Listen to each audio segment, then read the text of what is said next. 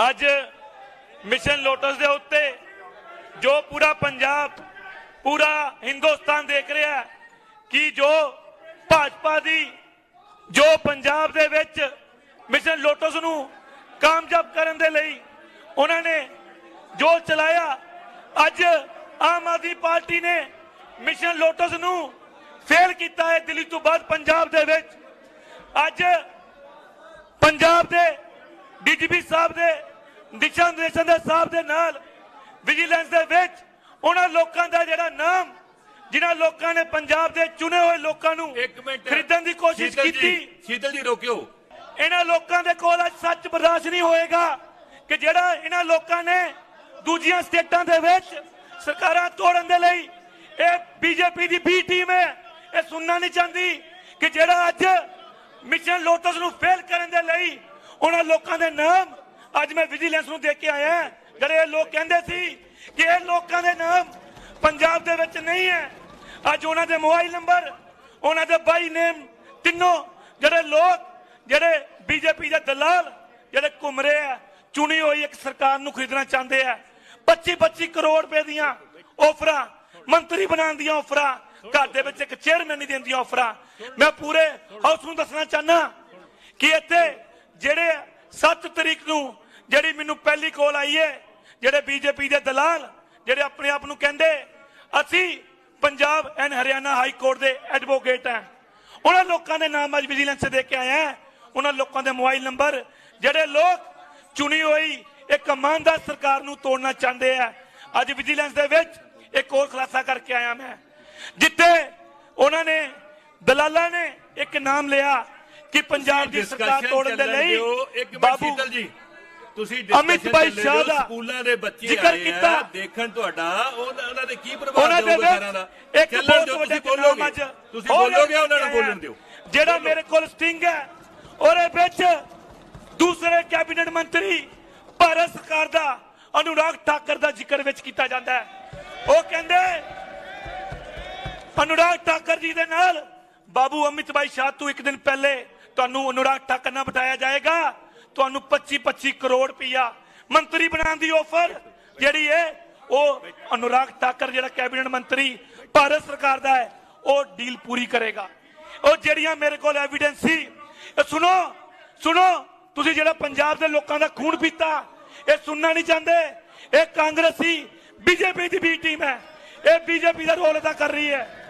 ਇਹ ਕਾਂਗਰਸੀ ਅੱਜ ਬੀਜੇਪੀ ਦਾ ਰੋਲ ਅਦਾ ਕਰ ਰਹੀ ਹੈ। ਇਹ ਕਾਂਗਰਸ ਦਾ ਰੋਲ ਅਦਾ ਨਹੀਂ ਕਰ ਰਹੀ ਇਹਨਾਂ ਨੂੰ ਲੋਕ ਪੰਜਾਬ ਪੂਰਾ ਮਾਫ ਨਹੀਂ ਕਰੇਗਾ ਪੂਰਾ ਹਿੰਦੁਸਤਾਨ ਇਹਨਾਂ ਨੂੰ ਕਾਂਗਰਸ ਮੁਕਤ ਕਰਨ ਜਾ ਰਿਹਾ ਹੈ।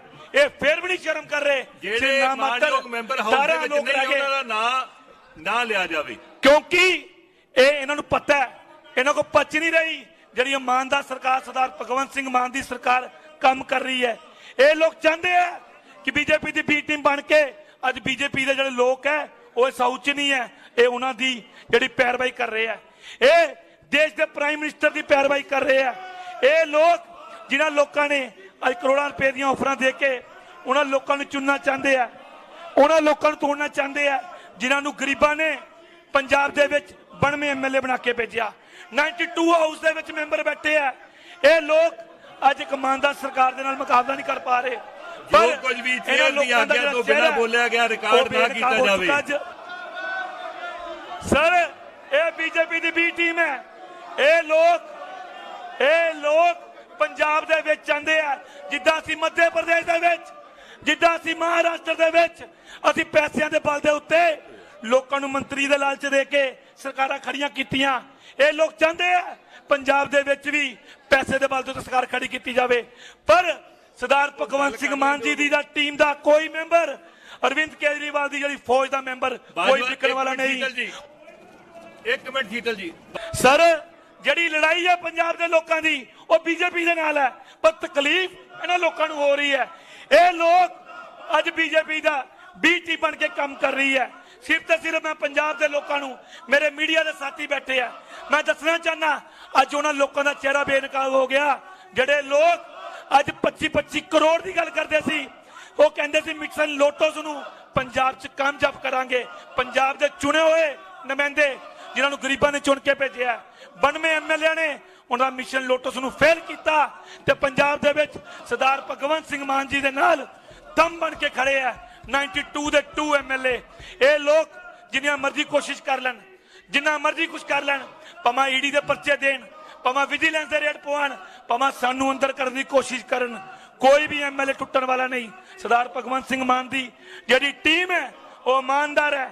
ਬਿਲਕੁਲ ਬਿਹਤਰ ਕੰਮ ਕਰ ਰਹੀ ਹੈ। ਪੰਜਾਬ ਦੇ ਲੋਕਾਂ ਨੇ ਸਾਨੂੰ ਚੁਣਿਆ। ਪੰਜਾਬ ਦੇ ਲੋਕਾਂ ਨੇ ਸਾਡੇ ਉੱਤੇ ਵਿਸ਼ਵਾਸ ਕੀਤਾ ਹੈ। ਅਸੀਂ ਇਹਨਾਂ ਕੋਲੋਂ। ਤੇ ਬੀਜੇਪੀ ਦੀ ਜਿਹੜੀ ਗਿੱਦੜ ਧਮਕੀਆਂ ਤੋਂ ਡਰਨ ਵਾਲੇ ਨਹੀਂ। ਜਿੰਨੇ ਮਰਜ਼ੀ ਪਰਚੇ ਪਾਲਣ ਸਾਰੇ ਲੋਕ ਤਿਆਰ ਬੈਠੇ ਆ। ਮੈਂ ਕਹਿਣਾ ਚਾਹੁੰਦਾ ਦੇਸ਼ ਦੇ ਗ੍ਰਹਿ ਮੰਤਰੀ ਸਾਹਿਬ ਨੂੰ ਕਿ ਦੇਸ਼ ਦੇ ਗ੍ਰਹਿ ਮੰਤਰੀ ਸਾਹਿਬ ਜਦ ਮਰਜ਼ੀ ਬੁਲਾ ਲੈਣ ਬੱਸਾਂ ਭਰ ਕੇ ਪੰਜਾਬ ਤੋਂ ਗ੍ਰਿਫਤਾਰੀ ਦੇਣ ਨੂੰ ਦੁਨੀਆ ਤਿਆਰ ਬੈਠੀ ਹੈ।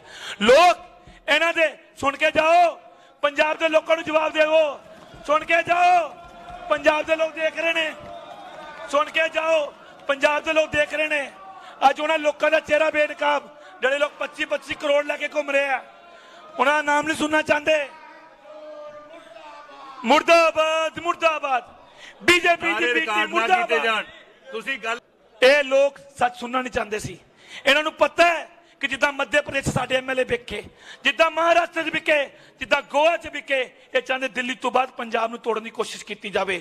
ਪਰ ਪੰਜਾਬ ਦੇ ਵਿੱਚ ਅਰਵਿੰਦ ਕੇਜਰੀਵਾਲ ਦੀ ਟੀਮ ਸਰਦਾਰ ਭਗਵੰਤ ਸਿੰਘ ਮਾਨ ਜੀ ਦੇ ਬਣਵੇਂ ਐਮਐਲਏ ਥੰਮ ਬਣ ਕੇ ਖੜੇ ਆ। ਆਪਣੇ ਆਪ ਦੇ ਵਿੱਚ ਪੰਜਾਬ ਦੇ ਲੋਕਾਂ ਨੇ ਧੋਖਾ ਨਹੀਂ ਕਰਨਗੇ। ਪੰਜਾਬ ਦੇ ਲੋਕਾਂ ਨੇ ਵੋਟਾਂ ਸਾਨੂੰ ਪਾਈਆਂ, ਸਾਡੇ ਉੱਤੇ ਵਿਸ਼ਵਾਸ ਕੀਤਾ। ਅਸੀਂ ਉਸ ਵਿਸ਼ਵਾਸ ਦੇ ਉੱਤੇ ਪੰਜਾਬ ਦੇ ਇੱਕ ਇੱਕ ਵੋਟਰ ਦੇ ਕਰਜ਼ਦਾਰ ਹਾਂ। ਇੱਕ ਇੱਕ ਵੋਟਰ ਦੇ ਲਈ ਆਪਣੀ 5 ਸਾਲ ਦੀ ਮਿਹਨਤ ਲਗਾ ਕੇ ਪੰਜਾਬ ਨੂੰ ਇੱਕ ਨਵਾਂ ਪੰਜਾਬ ਬਣਾਵਾਂਗੇ, ਜਿਹੜਾ ਸੁਪਨਾ ਲਿਆ ਸਰਦਾਰ ਭਗਵੰਤ ਸਿੰਘ ਮਾਨ ਜੀ ਨੇ। ਇਹਨਾਂ ਦੀ ਜਿਹੜੀ ਗਿੱਦੜ ਧਮਕੀਆਂ ਦੀ, ਜਿਹੜੇ ਭਾਜਪਾ ਵਾਲੇ ਸੈਂਟਰ ਦੇ ਵਿੱਚ ਦੇ ਰਹੇ ਆ ਈਡੀ ਦੇ ਪਰਚਿਆਂ ਤੋਂ ਕੋਈ ਨਹੀਂ ਡਰਨ ਵਾਲਾ, ਕੋਈ ਨਹੀਂ ਵਿਜੀਲੈਂਸ ਤੋਂ ਡਰਨ ਵਾਲਾ, ਜਿੰਨੇ ਮਰਜ਼ੀ ਪਰਚੇ ਦਰਜ ਕਰ ਦੇਣ। ਸਾਰੇ ਦੇ ਸਾਰੇ ਮੈਂਬਰ ਸਭਾਨ ਬਿਲਕੁਲ ਤਿਆਰ ਬੈਠੇ ਆ ਜਾਣ ਦੇ ਲਈ। ਮੈਂ ਤੁਹਾਡਾ ਧੰਨਵਾਦ ਕਰਦਾ। ਤੁਸੀਂ ਮੈਨੂੰ ਮੌਕਾ ਦਿੱਤਾ ਬੋਲਣ ਦਾ।